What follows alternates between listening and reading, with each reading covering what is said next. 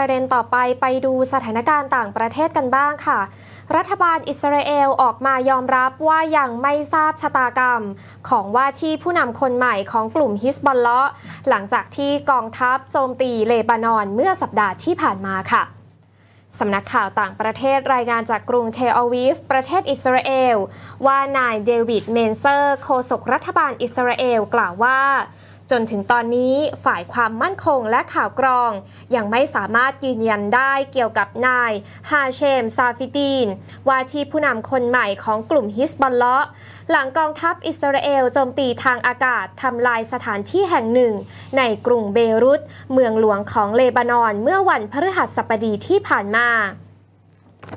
โดยนายซาฟิดีนมีศักดิ์เป็นลูกพี่ลูกน้องของนายฮัสซันนัสรัลเลาะห์ผู้นำสูงสุดของกลุ่มฮิสบัลเลาะซึ่งเสียชีวิตจากปฏิบัติการโจมตีทางอากาศของกองทัพอิสราเอล ที่กรุงเบรุตเมื่อวันที่ 27 กันยายนที่ผ่านมา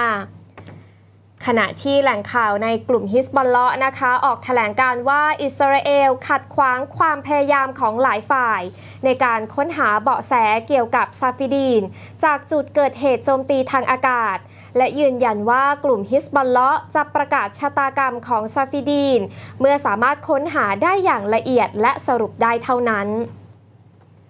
ทางนี้นะคะ กลุ่มฮิสบอลเลาะห์ยิงจรวด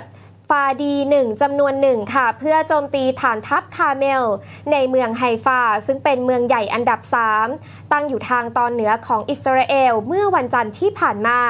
เพื่ออุทิศให้กับนายนัสรัลเลาะห์ซึ่งก็ตรงกับวันครบรอบหนึ่งปี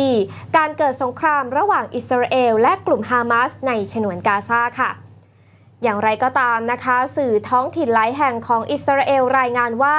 ขีปนาวุธของกลุ่มฮิสบอลเลาะลูกหนึ่ง ตกในเมืองไฮฟาส่วนอีกอย่างน้อย 5 ลูกนะคะ ตกที่เมืองติเบเรียส ซึ่งก็มีรายงานว่าอังคารหลายแห่งในบริเวณดังกล่าว ได้รับความเสียหาย และมีประชาชนที่ได้รับบาดเจ็บค่ะ